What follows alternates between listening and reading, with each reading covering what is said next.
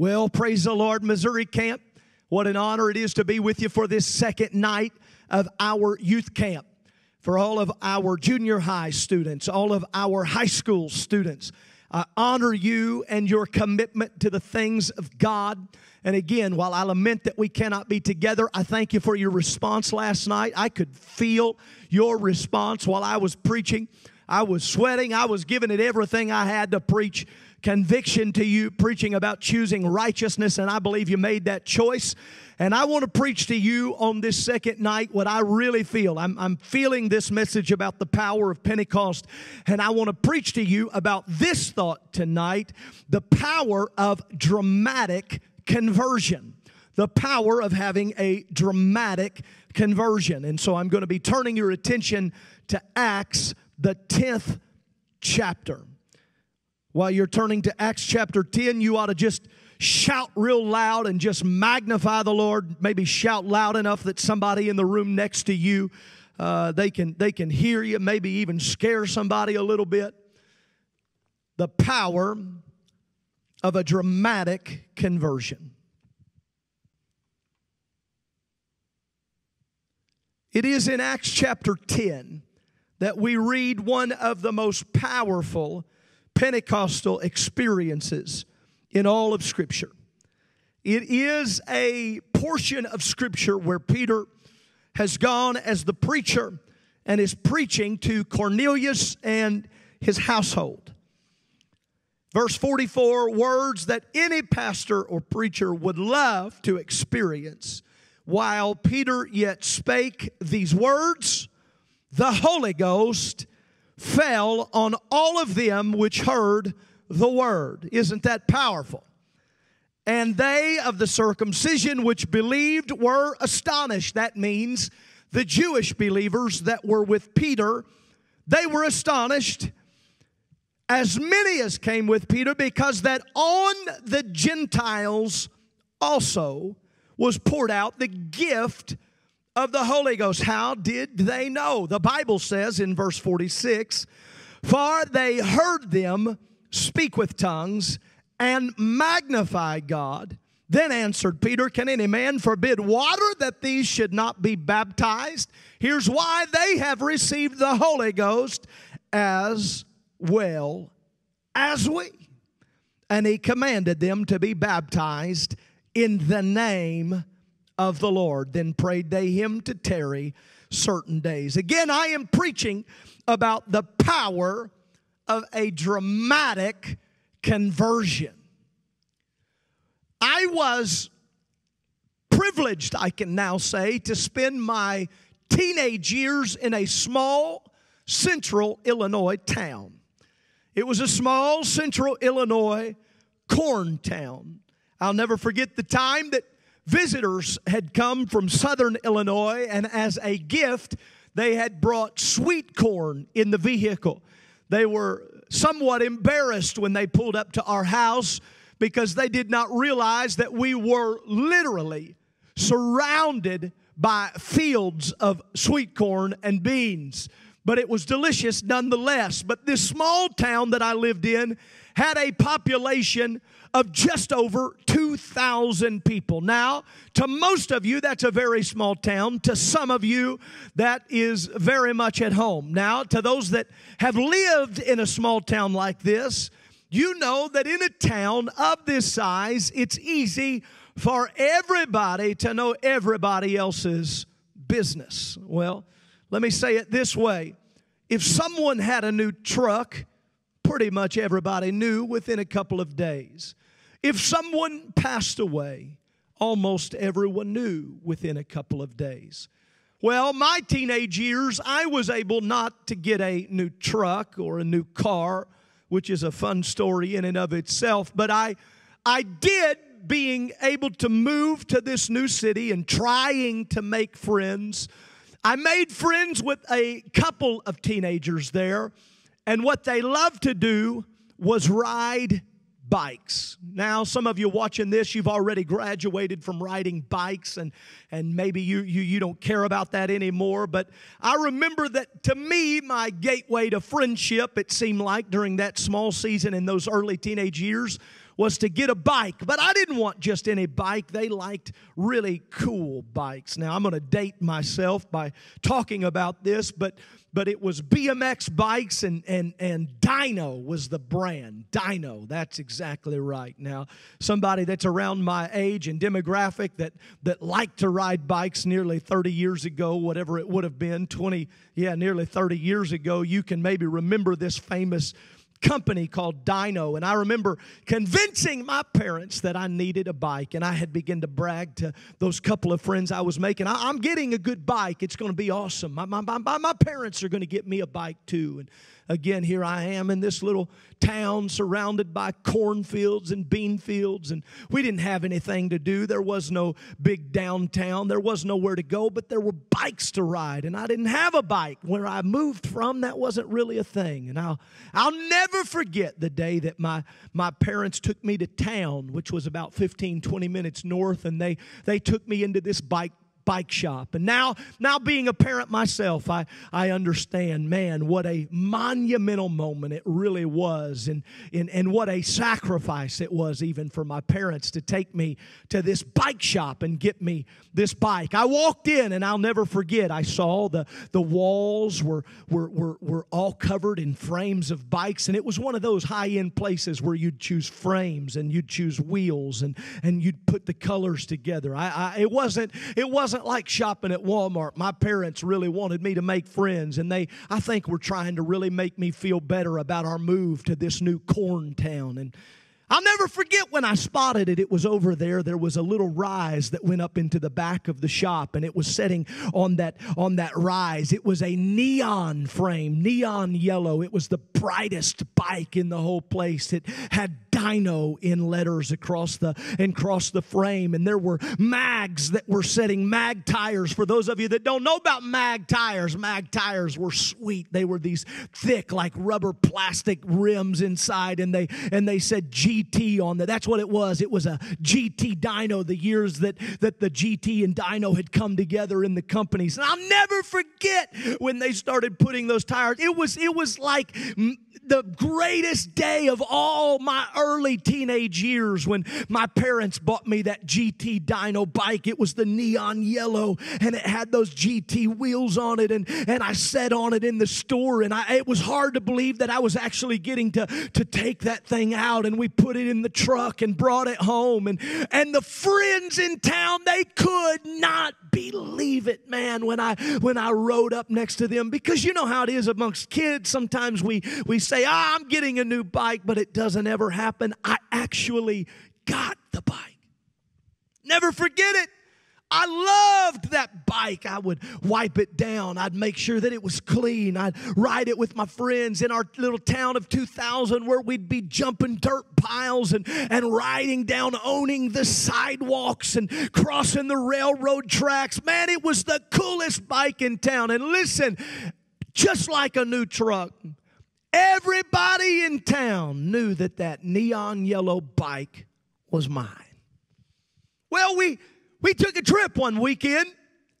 My bike was nestled in the garage, same place I put it every single day. I parked it there, made sure it was clean, made sure the kickstand was setting properly. I didn't want anything to hit it we set off on a trip where we actually went was to southern illinois to visit our grandparents. And we were there for a long weekend. And when we came back three or four days later i'll never forget my excitement. I ran into the garage because i had been separated from my bike for a handful of days you know three or four days. And i went in and when i went in and opened the garage door you already know where i'm going. I opened and and for some reason it wasn't there. And and i kind of treated it like some of us guys treat the refrigerator when we open and there's nothing in there. We shut the door and we open it again believing that miraculously ice cream will be there this time or something we want to eat will actually be there. I, I shut the door of the garage and I opened it again, believing maybe it will appear, but alas, to my dismay, I opened the garage door and the bike was gone. I looked around. I looked, maybe somebody moved it. Maybe my parents, maybe they didn't want it to get hit. And I, I began to turn. My garage wasn't that big, it was a basic two car garage, and there was no bike. It's hard to miss a neon yellow bike with the coolest mag rims that anybody in this corn town has ever seen. But it did not take long for somebody who had noticed we returned home. Remember, it's a small town and everybody kind of knew, and there came a knock on the door. And one of my buddies that I always rode my bike with, he had the puzzling question for me Hey, did you give Kyle your bike? The devil is a liar. No, I did not give Kyle my bike. My bike is missing.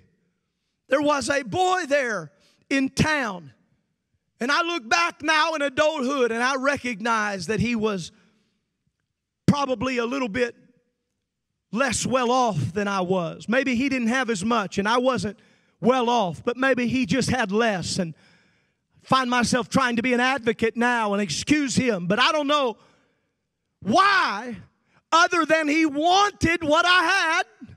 He recognized I was out of town. He went in my garage and took my bike. Let me say it right. He stole my bike. I don't know if you've ever had anything stolen from you, but man, it, it, it'll set you off. It'll, it'll bother you bad. But here's the kicker He didn't just steal my bike, he rode it all over town.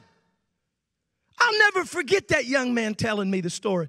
He said, I've watched him riding your bike all over town for days. I wish everybody, every teenager, every young adult, I wish you could have been with me when I went and I knocked on his door and I said, Kyle, I know you stole my bike. I'm gonna call the cops if it's not back by tomorrow morning. And I just turned and left. And Kyle was a lot bigger than me, but I had a little righteous indignation.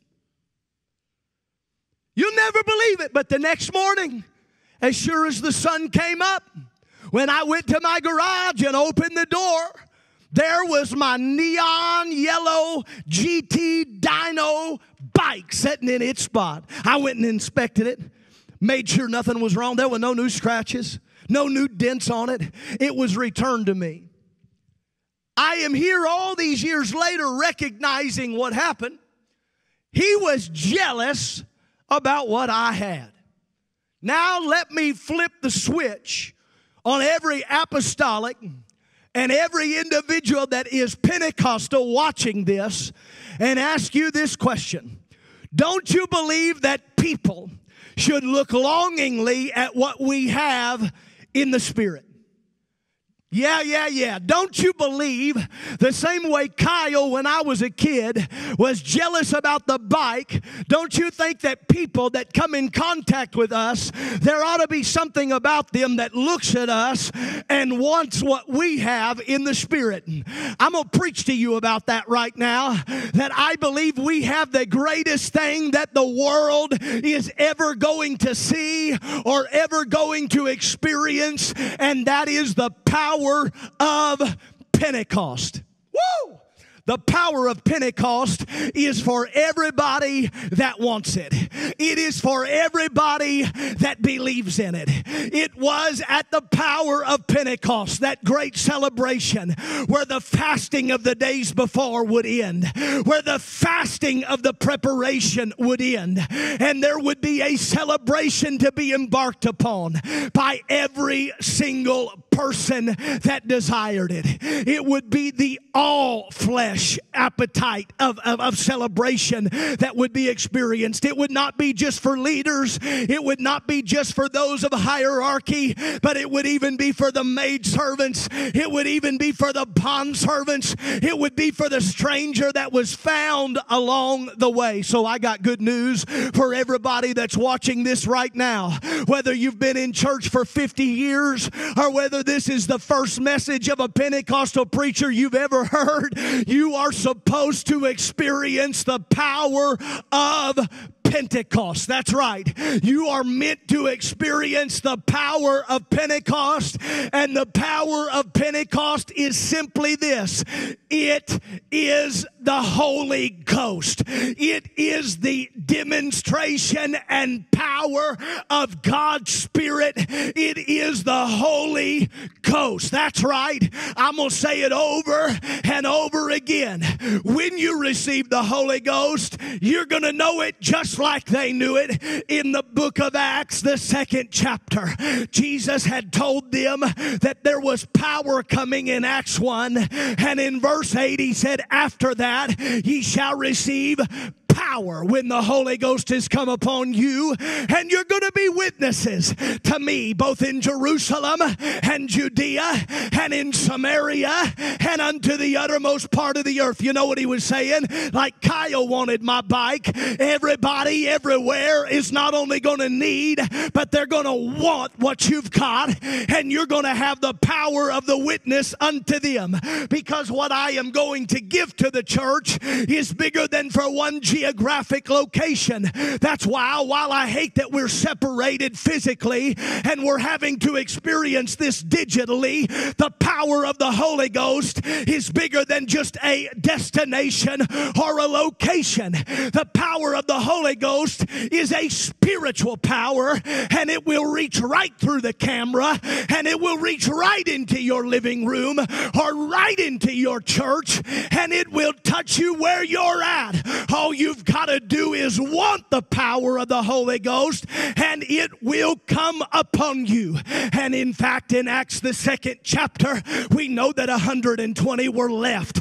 Many had gathered, but 120 were still there in what the Bible called that upper room, gathered there in the city. They were in an upper room praying. They were isolated from the crowd. They were alone. It's good news for you to be solitude today it's okay that you're separated maybe with just a small group. The bulk of the crowd that day was not in the upper room either, but they were there gathered in and they were tuned in and they were praying. And as they were praying, you know it, Acts chapter 2 says, Suddenly there came a sound from heaven as of a rushing mighty wind, and it filled all the house where they were sitting. And there appeared unto them cloven tongues like as of fire and it sat upon each of them. Then Peter goes out and begins to preach to the masses because they started spilling out into the street and they were speaking, and all the people that were dwelling there, devout men from every nation, and they said, Aren't all these that are speaking Galileans? How then hear we them in our own language? They knew that something was different. Some people thought they were drunk, but others knew they were not. And Peter stood up and said, These men are not drunk as ye suppose. Being intoxicated would not make them magnify God in your native language, it would not make them magnify God in your native tongue. But this is that which was prophesied by Joel in the last days, saith God, I will pour out of my spirit upon all flesh. Woo! I'm going to tell you right now, you better look up because we are in the last days. And although we've been separated by the pandemic, there are people receiving the Holy Ghost all over the face of the globe right now. Because while we have been physically distanced and what they have tried to call social distance, people are tuning into the Spirit of God and they're looking back to the pages of Scripture and they are being reminded every promise in the book is mine. Every promise from God is mine. And that's what's happening here in the book of Acts. Peter said Joel prophesied it. He was directly in line with the great writer that said, For the prophecy came not in old time by the will of man, but holy men of God spake as moved by the Holy Ghost. I'm going to let me pause here a little bit and tell you what started happening in the crowd that day is what was happening in Kyle when he watched me riding on that bike. People around that room started saying, I don't think it's fair that only 120 got it. I, I don't think it's right that only 120. And Peter said, No, you're exactly right. Everybody that wants it, everybody that wants it can have it. Here's what you've got to do. In Acts 2:38, he said, Repent and be baptized, every one of you, in the name of Jesus Christ for the remission of sins, and ye shall receive the gift of the Holy Ghost. And he went on and told them, For the promise is unto you and unto your children and all that are afar off. Whoa! It means it's to you, it's to your uncle, it's to your mama, it's to your brother, it's to your sister, all that are afar off, even as many as the Lord our God shall call. And it went from 120 in an upper room to 3,000 souls that single day being added. I'm telling you, it was powerful and it was dramatic. But I've got news for you. The same experience of Acts chapter 2 is the experience that God has for you. Whether you're in your church or whether you're in your home, whether you're downstairs in your basement or whether you're in the middle of your living room, if you want the Holy Ghost and the power of God, if you will seek Him, He will fill you. Woo! I wish you'd throw your hands towards heaven right now and somebody call on the name of Jesus and say, I want the Holy Ghost. Yes, I'm preaching to those of you that already got the Holy Ghost too. I'm preaching to those of you that have got filled a long time ago. You got to stir up the gift inside of you.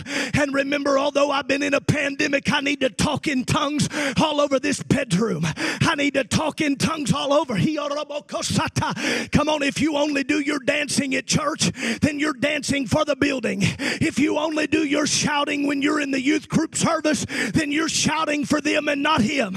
But if you believe in the power of God and the power of the Holy Ghost, you ought to worship Him for the infilling. Praise God. Yeah, yeah, yeah, yeah, yeah, yeah, yeah. You ought to lift your voice. Come on, lift it loud enough, scare somebody close. But the amazing nature of Acts chapter 2 could not last, for there would be persecution. There would be persecution hit the church. It is my firm belief persecution had to hit the church so that there would be enough reason for them to leave having good church. And if this pandemic has taught us something, it's that we cannot be satisfied with just having good church. We cannot be satisfied with just having good church in our buildings. Whether it was persecution for them and it's been pestilence for us, but it's reminded us the power of the Holy Ghost is bigger than the building. I know we've been saying it, but we've been reminded the power of the Holy Ghost is bigger than the building. And we get to watch it play out in Acts chapter 10. Please hear me. In Acts chapter 10, I gotta I gotta hurry here, but in Acts chapter 10, there is a devout man named Cornelius. He's a long way from the upper room. He's a long way from the right last name. For he himself and his household, they were not Jewish Christians. They were not of the chosen people.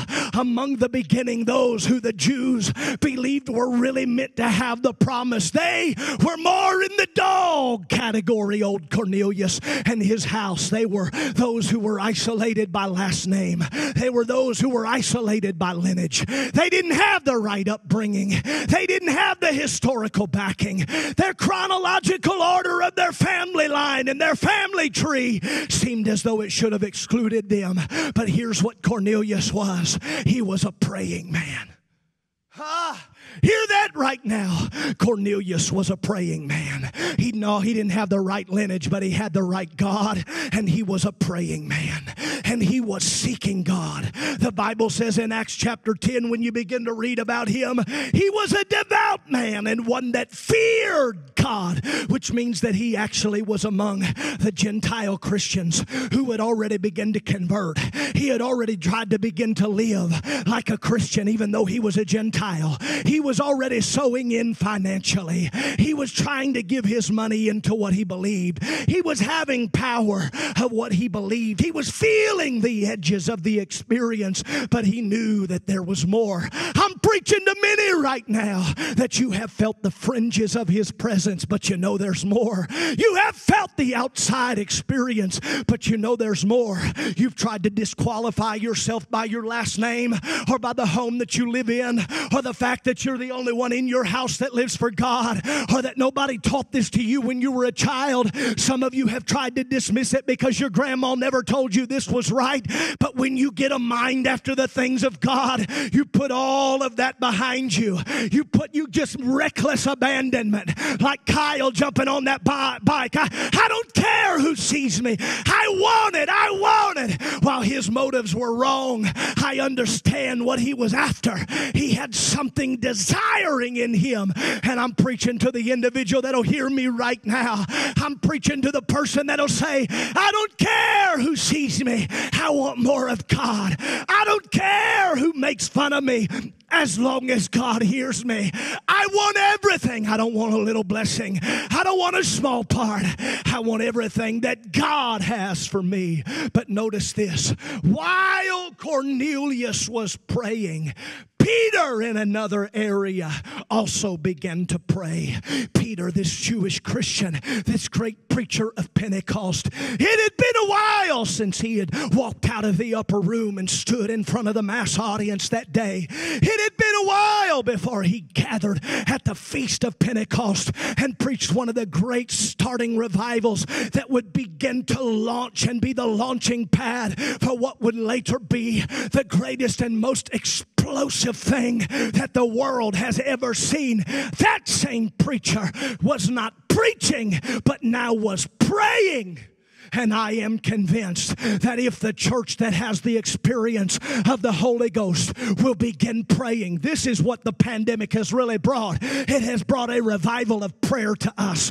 And I am telling you, I stand on the promises of God that whoever hungers and thirsts after righteousness will be filled. And as he began praying, all of a sudden he saw a vision as he was looking out the window. He got caught into into a trance in his prayer, but it was the Lord who began to give him a vision. He went into a deep place in prayer, and there on that sheet that began to descend, he begins to see these unclean animals, and the Lord is speaking to him. And Peter begins in his own ideology and social custom to say, I cannot eat of that. That is unclean. And the Lord gives him a opening revelation of what he's actually doing in the church. Peter, I need need you to know you do not call unclean what I am calling clean. I, I don't want you to call unclean what I am cleansing. And so Peter begins to get a revelation that there's somebody praying and you've got to rise up and you've got to go to them. I'm going to pause right here and tell you again one of the things the pandemic has helped us with is we have been praying for too long that people would come to us and and God is taking us through the power of our prayer and saying, No, I've got people praying and I'm going to send you to them. I'm going to send you to preach to them. They're devout, they're seeking me. They just don't have full truth yet. I believe there's people all over the city. I believe there's people in our neighborhoods. I believe there's people in your homes. I believe there's people right now that maybe they've been a little bit away from God, but they've been praying and you don't know it, but they've been seeking and you don't know it, but they've been asking and we don't know it, but they've been pleading with God. That's what supplication really means. It means to earnestly plead with God. What are they pleading for? I'll tell you what they're pleading for. They're pleading for the power of Pentecost. They're pleading for the power of Pentecost. And Peter, in fact, he answers the call. Peter would not have been able to answer the call had he not been praying. The worst thing we could do during this season is think that if we could simply be in church, it would fix anything. If we really want the answer from heaven, we got to pray. If we really want the answer from heaven, we've got to pray and God will give the direction. Peter walks, he gets to the house of Cornelius. Let me hurry back to our opening text. And he begins to preach. I mean, Peter begins to preach about the power of Jesus Christ to Cornelius. The family is sitting around. I'm going to tell you right now, you need to know this. The Jewish Christians were not happy about being there. They did not hear what Peter heard, they did not experience what Peter heard. That's why you got to trust whoever's been tuned into prayer and follow their lead. Peter had been tuned in and he comes to Cornelius' home and he mixes what he heard with prayer with the activation of his boldness and he begins to preach about the power of Pentecost and the power of the name Jesus. And when he does, while he is speaking, the Holy Ghost fell on Cornelius and all his house. Oh, yes. While I'm preaching, I believe the Holy Ghost can fall on people right now, right there where you're gathered. I believe anybody without the Holy Ghost, it can fall on you right now. And here's how you're going to know you're going to know the same way that the Jewish Christians knew. The Jewish Christians knew they were full of the Holy Ghost and knew they received it the same way. Because when you read right there in verse 46 of Acts chapter 10, we hear the dramatic conversion of these Gentiles in Cornelius's home. They heard them speak with tongues. When they heard them, they heard them speaking in a language that was the same evidence of Acts chapter 2. They spoke in a language they had never cursed in. They spoke in a language they had never talked back to their mama in. They spoke a language they had never lied in. It was a dramatic conversion. Please hear that over and over again. Some of you received the Holy Ghost. I feel prompted right now. You hear me. You've received the Holy Ghost and you spoke in tongues, but the devil's tried to convince you that it wasn't real. Now, hear me clearly. Tongues is not the Holy Ghost, but it is the evidence. It is the initial evidence of the Holy Ghost, the Spirit of God residing inside of you. And that is why I speak to you and tell you you need a dramatic conversion. You need to speak in tongues as the Holy Ghost gives the utterance, that Spirit of God giving the utterance so that when the devil tries to lie to you and tell you it was not real, that you know my my conversion was so dramatic. I don't care what anybody says about me. I don't even care what the devil tries to steal from me. I've had a dramatic conversion. Here's another reason you know it was dramatic. The Jewish Christians are standing around, and Peter has to look at them and he says, Can any man forbid water? He wasn't saying it in a nice way. The Jewish Christians really wished that they would have had some reason because if the Gentiles are buried, in, if the Gentiles are baptized in, if the Gentiles receive it just like us, then it means that God is opening this promise to everyone. But the same way that the physical party of Pentecost had been for everybody, God was teaching the church the spiritual part of Pentecost is for everybody. Nobody could forbid water because they had received the Holy Ghost the same way. And their dramatic conversion continued forward and they were baptized in the name of the Lord. The only way anybody in Scripture was ever baptized. Mark tells us, He that believeth and is baptized shall be saved, he that believeth not shall be condemned. What is it telling us? I, I don't even need just to repent, but then I've got to take the next step. I, I need to be filled with His Spirit and I need to be buried with Him in baptism. And so I'm preaching to you, you need dramatic conversion.